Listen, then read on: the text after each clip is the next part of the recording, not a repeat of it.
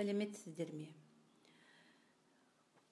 Қазақ тілі мен әдебиет пәнінің оқытушысы қыдырова гүлбану инаятқызы бүгінгі дәріс беретін пәніміз бұл мәнерлеп оқу пәні дәрістің тақырыбы ертегілерді оқу көркем шығарма жанрларының ішіндегі балалар әдебиетінде ертегінің рөлі ерекше.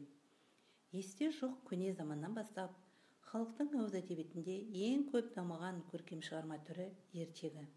Ертегіні оқу баланы ғажайып қиялға бөлеп шымшыдыры оқиға араластырып жеті қат жер астына ғарышқа самғатады.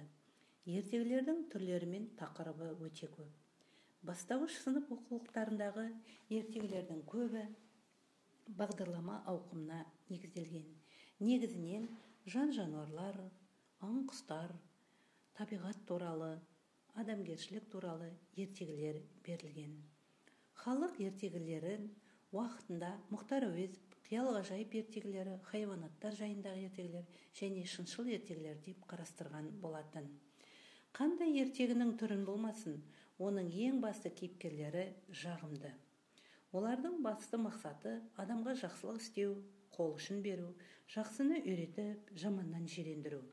Тілінің шұрайлы оқиғасы қызық сондықтан шағын ертегіні бала әлі оқу мен жазуға төселмей тұрған алғашқы аптадан бастап ақ мұғалімдер әсерлі оқып беріп әңгімелеп беріп ертегі кітапшаларды сатып алуға үйде ата анасының аға апаларының оқып беруіне сілтеме жасайды.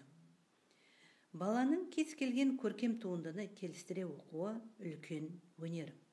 Сол өнерге үйрететін үлгі көрсететін мұғалім. Сондықтан мектеп мұғалімі шәкіртті оқытуға үйретуді үнемі жүйелі жүргізіп үлгісін көрсетіп отырады. Шәкірттерінің мәнерлі оқуды игеруге бағытталған алғашқы бастамасынан бастап арнап арнаулы есеп жүргізу керек. Сол үшін шәкірттің сөз өнеріне үңіліп бейнелі ойына түсінуге ұмтылатын ләззат алатын алғашқы көркем туындысы ертегі. Ертегі кейіпкерлерінің басым көпшілігі аңдар мен құстар жыртқыш аңдар. Әрине табиғаттағы жан жануарлар сөйлемейді оны бәрі біледі. Бірақ солардың тіршілігі немен күн көретіні кейбір жыртқыштардың мінезі пайдасы мен зияны олар туралы мағлұматтар белгілі. Сондықтан түлкінің даусы қасқырдың даусы арыстанның даусымен оқу деген бағыт жоқ. Бірақ әрқайсының бір біріне ұқсамайтын жаратылысы сияқты бір біріне ұқсамайтын даусы да болу керек.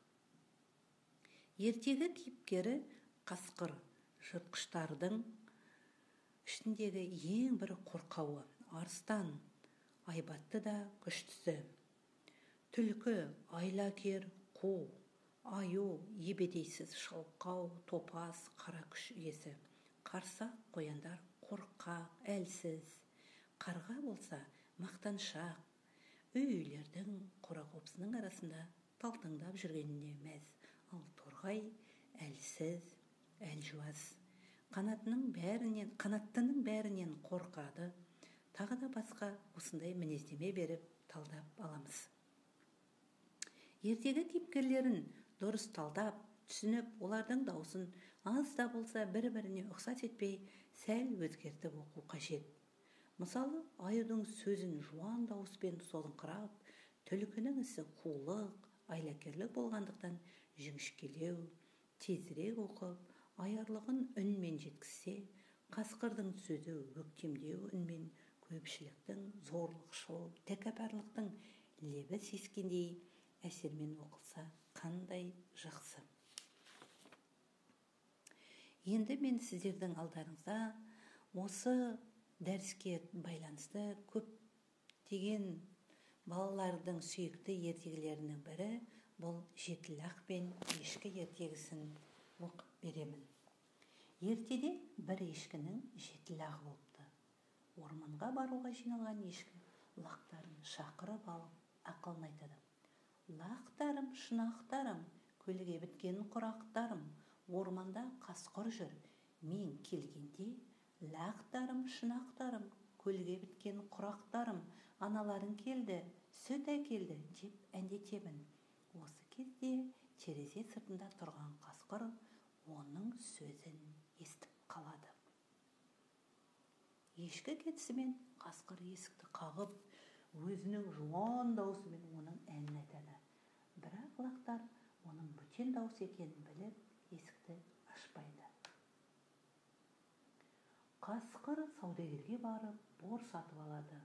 Бордың бір кесегін жегенде даусын аздап жіңішкерді осы дауыспен ән айтып еді. Лақтар тағы да алданбады. Қасқыр ұстаға барып өзіне тамақ жасатып алды. Даусы ешкінікі сияқты жіңішке болып шықты.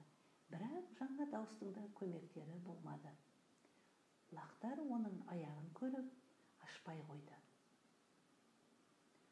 Қасқыр жылдам наубайшыға барып аяғына себетін ұн сатып алды. Қасқыр есік алдына қайтып келді. Ақ аяғын лақтарға көрсете созып тұрып әнге басты. Шырақтарым лақтарым аналарың келді сөт әкелді қорықпаңдар есік ашыңдар аллахтар болса оған сеніп есікті ашып жіберді.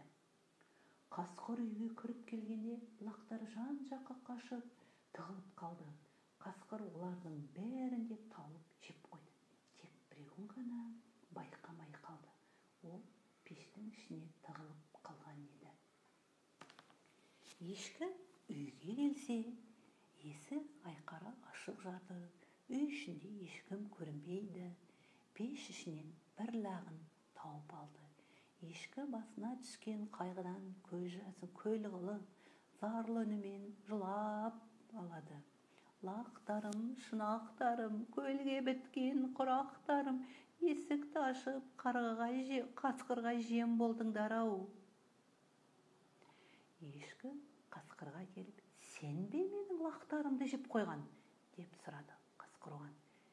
Сенің лақтарыңды жеген жоқпын деп қатты жауап қатты.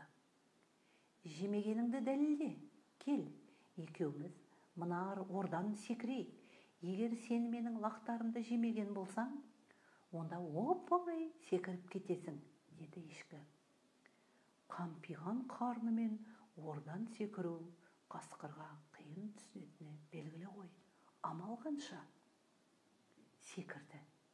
Бірақ өзін өзін ұстай алмай тура ыстық шоқтарды бар шоқтары бар орға құлады.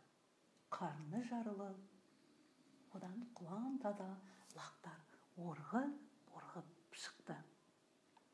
Олар аналарымен қуана табысты сөйтіп ешкі лақтарымен бұрынғыдай ауыз бірліктері күшті ынтымақты өмір сүрді.